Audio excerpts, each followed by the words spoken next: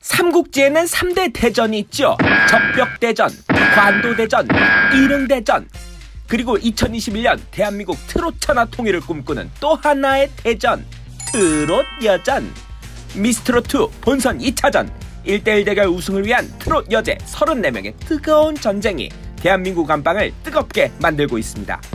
용호 상박, 막상 막하, 삼국지보다 더 재밌는 트롯 여전.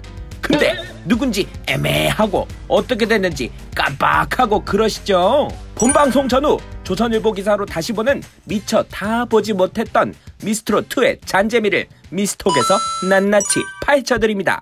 지난주 미스트롯2에서 단연 최고의 비주얼 쇼크를 꼽는다면 단연 주미씨겠죠. 클럽 음악풍의 과감한 선곡을 통해 모 아니면 도의 과감한 배팅으로 기선 제압을 시도했습니다. 앞권은 곡 중반부에서 예선진 윤태화와 본선진 황우림의 이름표를 뜯는 퍼포먼스를 보여줬던 건데요. 본선 2차전에서 진이 되고 싶은 출사표를 심사위원들에게 확실히 어필했습니다. 사실 주미 씨의 탄탄한 기본기는 정평이 나 있죠.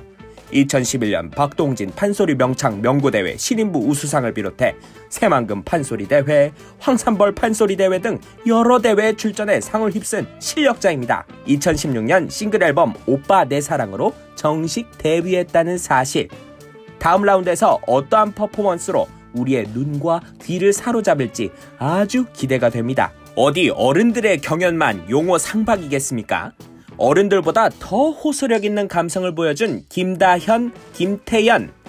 다현 양은 경연 전 경북 비룡산을 찾아 노래에 영감을 얻었다고 합니다. 아버지한테 배운 것이라고 하는데요. 청학동 김봉곤 훈장의 사남매 중 막내딸이라고 합니다. 4살 때부터 판소리를 배웠다네요.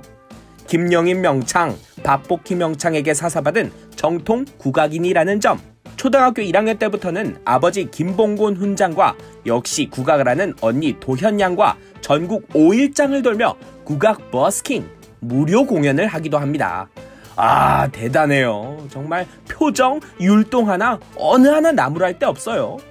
김다현이 돌아왔다는 평이 여기저기서 들립니다. 김태현 양도 빼놓을 수 없죠. 가수 이태호의 간대요 글쎄를 아주 맛깔나게 완창하여 판전단의 올승을 거머쥐었습니다. 도입부 하나만 듣고도 곡을 완벽히 소화했다는 걸 알아차렸다는 장윤정 심사위원의 한마디. 앞으로 초등부의 저력을 보여줄 유망주들로 아주 손색이 없겠죠.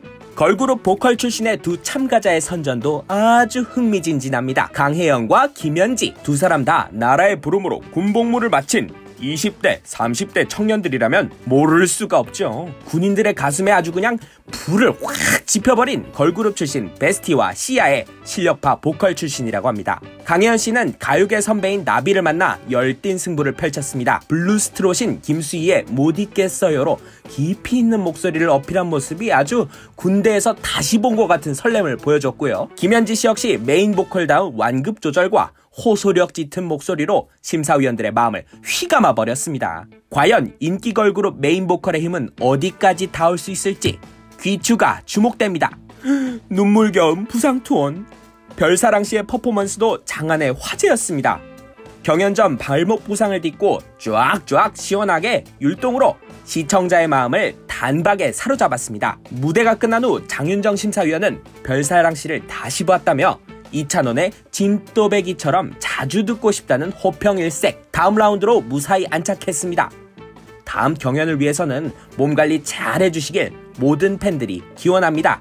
미리 보는 결승전 예선 진과 예선 선의 대결로 주목을 받은 홍지윤과 윤태아 씨의 대결에서는 윤태화 씨가 다음 라운드로 진출했습니다. 저번 화에서 예선 진을 차지하고도 탈락 후보에 드는 최대 위기를 맞았었죠. 정통 트롯의 진가를 보여주며 1대 10으로 승리하였습니다. 과연 예선 진의 저력은 어디까지 이어질 수 있을까요? 이상 다음 라운드 진출자 7인을 소개해드렸습니다. 과연 여기서 미스트롯2 영광의 진을 차지할 여제가 등장할 수 있을까요? 댓글로 여러분의 생각을 들려주세요. 댓글 추첨을 통해 조선일보가 만든 지난 미스터트롯 방송 미스터트롯맨 열전을 증정해드립니다. 저는 다음 주 방송이 끝나는 대로 새로운 미스톡으로 여러분을 찾아뵙겠습니다.